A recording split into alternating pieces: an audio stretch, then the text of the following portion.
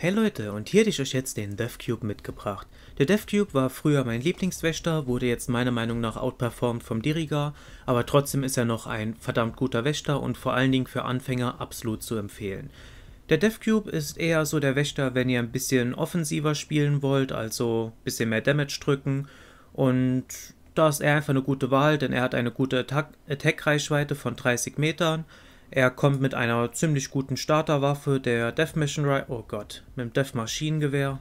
Die haben das immer noch übersetzt. Und er hat halt eben noch eine gute Fähigkeit. Die gute Fähigkeit ist Verdampfen. Die macht 600 Strahlungsschaden an einen Gegner, der bis auf 4 Meter oder näher an uns rankommt. Und das Ganze hat eine Abklingzeit von 30 Sekunden. Das klingt jetzt vielleicht nicht so berauschend.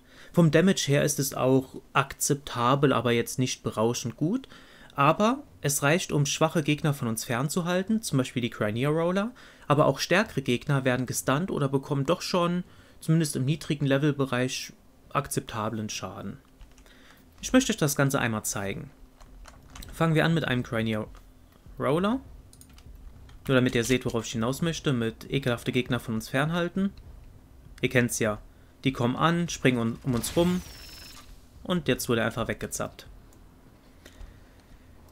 Bei stärkeren Gegnern oder Gegner, die ein bisschen mehr Rüstung haben oder nicht anfällig sind gegen Strahlung, sieht das Ganze jetzt schon mal wieder ein bisschen anders aus. Da hole ich einfach so ein schlechter.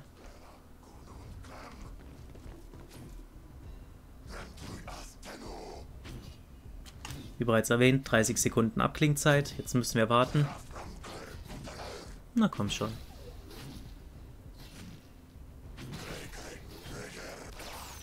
Hier, jetzt wurde er gezappt. Sein Leben ist fast ganz weg, ist auch nur Level 20.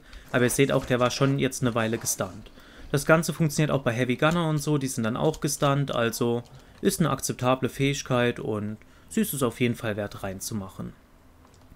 Gut, die Stats vom DevCube sind 100 in ja, Energie ist jetzt eher egal, sind 200 Gesundheit, 50 Rüstung und 100 Schild.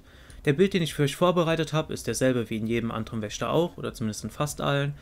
Ihr wisst noch die Prioritätenliste von oben links nach oben rechts, dann unten links nach unten rechts. Das bedeutet an erster Stelle Beschützer. Hier hinten habe ich jetzt Schildlader drin, nimmt aber glaube ich keinen Platz weg. Dann hier unten verdampfen und unten rechts schneller tot. Wenn ich das so rum machen würde, würde er immer versuchen anzugreifen und würde nie verdampfen. Von daher machen wir verdampfen vor den Angriffsmod. Die anderen Mods wären Metallfaser, kalkulierte Umlenkung, verbesserte Vitalität Vakuum, tierischer Instinkt und Anheizen. Ich denke mal, hierzu gibt es eigentlich nicht viel zu sagen. Ich habe euch gezeigt, wie das Verdampfen funktioniert und ich hoffe, dieser Bild hilft euch.